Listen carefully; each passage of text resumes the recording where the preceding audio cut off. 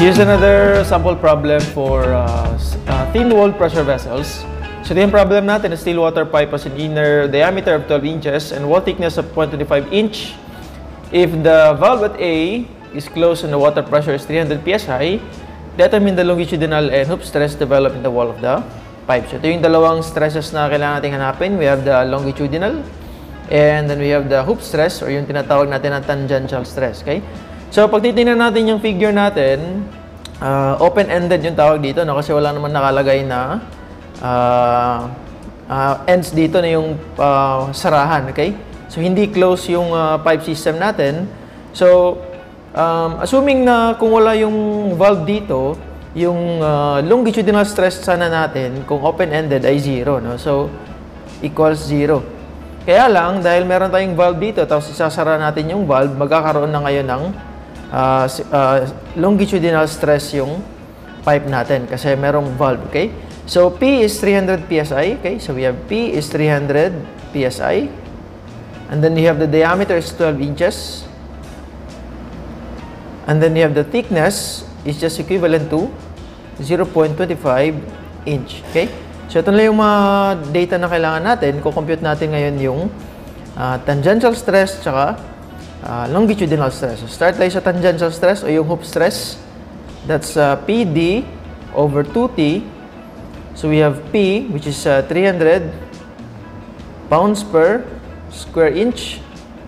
Tapos diameter na, ano ba yan? Diameter na 12 inches. 12 inches. Tapos we have 2 times thickness na 0.25 inches. Okay? So magkakancel yung inch dito. Ang matitira na lang ay pounds per square inch. So we have PD. That's 300 times diameter na 12 divided by 2 times 0.25. Okay? So that's uh, 7,200. Tama ba? 300 times 12 divided by 2 times 0.25. That's 7,200 or that's 7.2 KSI. Okay? So divide 1,000 lang natin.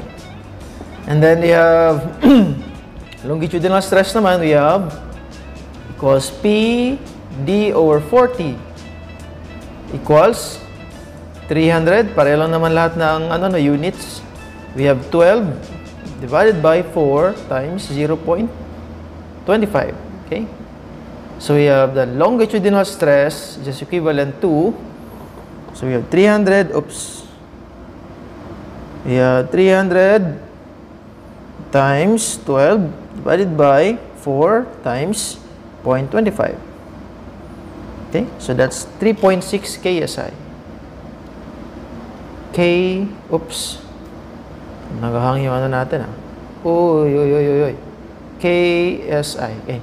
So ito na yung longitudinal stress natin. Tapos ito na yung tangential na stress natin. By the way, uh, nasa ibang video natin to diniscuss, no? Ah, pwede na natin i-check yung ano no, i-check natin yung um, properties or hindi naman properties no, pero dimension ng pipe para ma-check natin kung kailangan talaga or okay lang na i-apply natin yung thin walled pressure vessel sa mga equation. So yung pag-evaluate kung applicable ba, kailangan natin i-check yung radius divided by thickness must be greater than 10. So yung ratio ng radius sa thickness is greater than 10. So i-check natin yung radius natin, that's uh, 6 inches divided by 0.25 kung greater than 10 ba talaga.